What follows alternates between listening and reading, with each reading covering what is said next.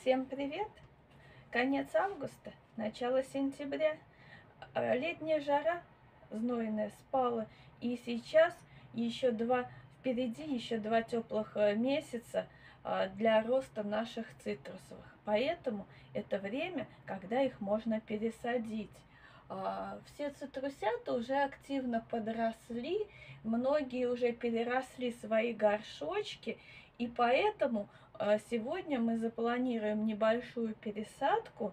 А, растения будут пересажены, и, и у них будет два месяца, чтобы хорошо адаптироваться в свежем грунте, порасти и окрепнуть перед зимой. Давайте посмотрим, каких цитрусят я приготовила к пересадке.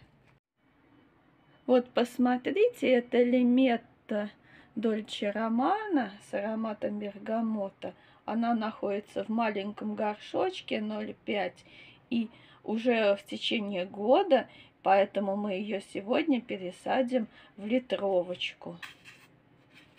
Это вот каламандин он отцвел, завязал э, плодики, возможно, он даже некоторые оставит, но чтобы э, он их сохранил, ему необходимо много питательных веществ. А он растет всего лишь э, в стаканчике 0,5. Посмотрите, корни Поэтому мы его аккуратно перевалим тоже в горшок литровый, чтобы у него были питательные вещества для развития и, возможно, для сохранения плодиков. Так. И вот последний, посмотрите, это укореняшечка лимона пинкеврика. И его действительно уже пора пересадить. Вот такие корни он дал в нижний горшок своей мамы. Вот, и чтобы вот он дальше пустился в рост, в сентябре, в октябре окреп, мы его сегодня пересадим.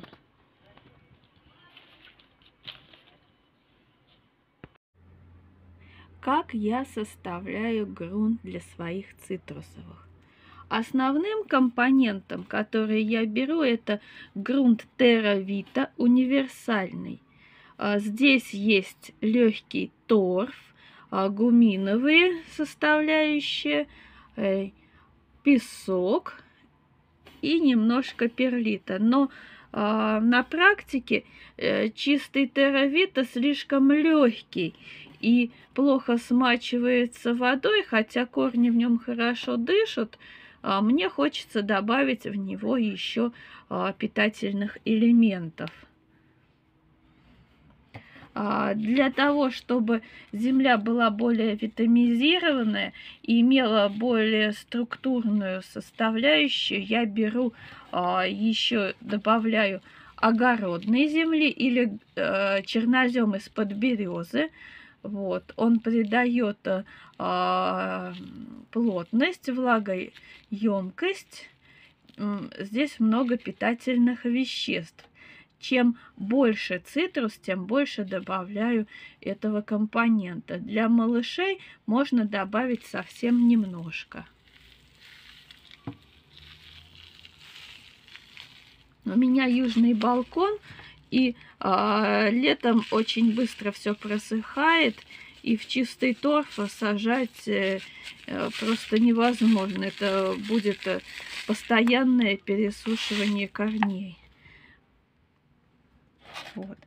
Следующим компонентом я беру перегнившие иголочки из соснового леса. Вот тут шишечка.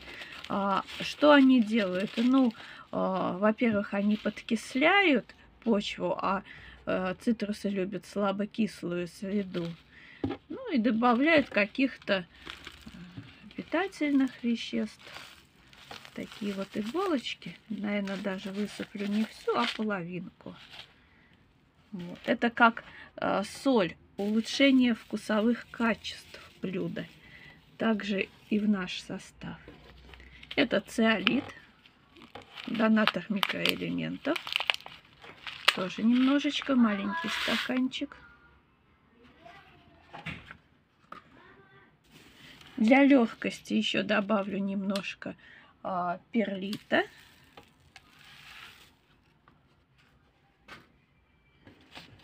Лава не обязательный компонент, она донатор э, ионов железа. Тоже. Поперчим. И последний компонент, который я раньше не использовала, но сегодня добавлю, это сапропель. Это э, перегнившие водоросли, ил, то есть считается плодородным компонентом. Ну и как улучшитель почвы. Добавим тоже. И все тщательно смешиваем. Такая вот консистенция получилась.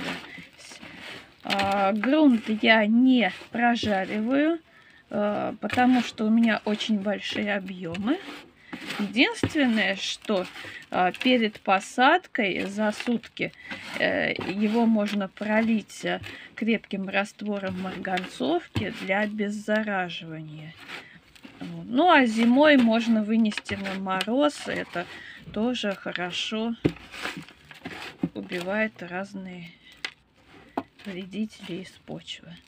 На практике заметила, что покупные торфяные субстраты часто бывают э, с грибным комариком, поэтому обеззараживание марганцовкой приветствуется. Вот такой вот, такая консистенция.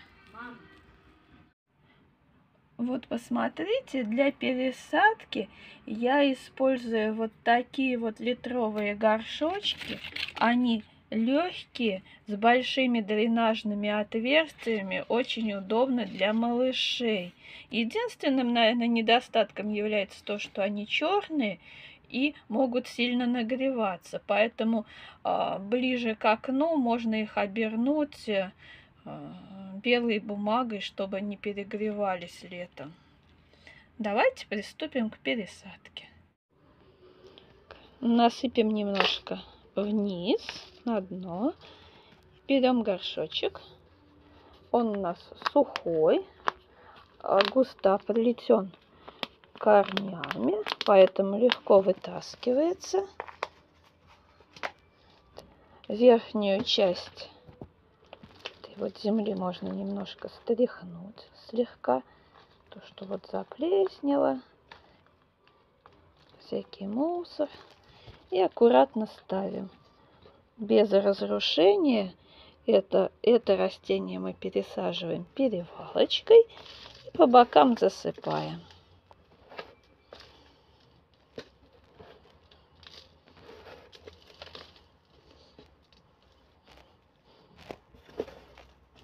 Обратите внимание, обязательно тщательно убираем по бокам, чтобы не было пустот. И не заглубляем корневую шейку.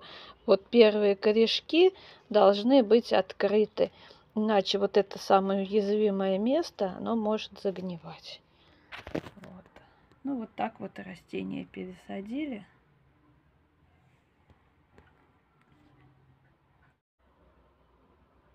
Горшки на вырост не берем.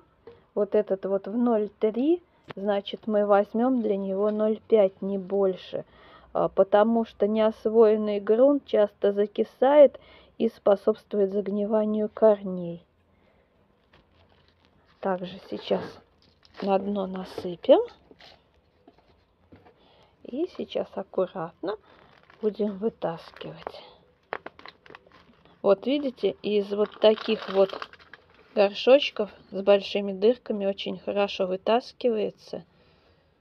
Вот, без повреждений. Верхние можно немножко стряхнуть. Вот эту вот землю. Вот, и вот такие корешки тоже аккуратно укладываем и засыпаем.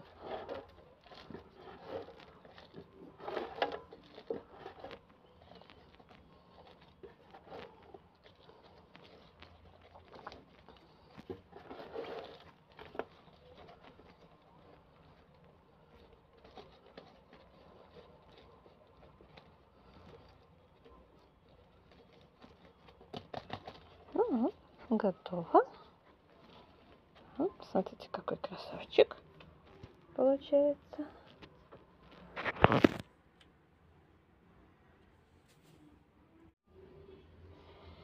После пересадки цитрусы нужно активно пролить водой.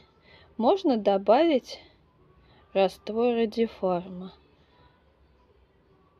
Я добавляю чуть меньше, чем 2 мл на литр. Он улучшает развитие корневой системы, способствует лучшей адаптации цитрусов после пересадки – ну и способствует усвоению питательных веществ, укрепляет иммунитет растений, так как укрепляется корневая система. Вот, перемешаем, сейчас польем. Сейчас я их активно пролью. Прям, чтобы потекло. И оставлю в тенечке до вечера. А потом поставлю на места, где они стояли.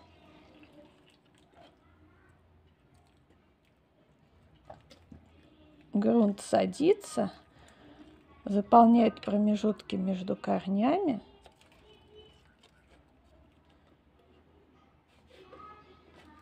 Ну, вот так вот получилось. И сейчас осмотрю всю остальную свою коллекцию, намечу дальнейшие пересадки. И, наверное, за сентябрь потихонечку всех по плану пересадим.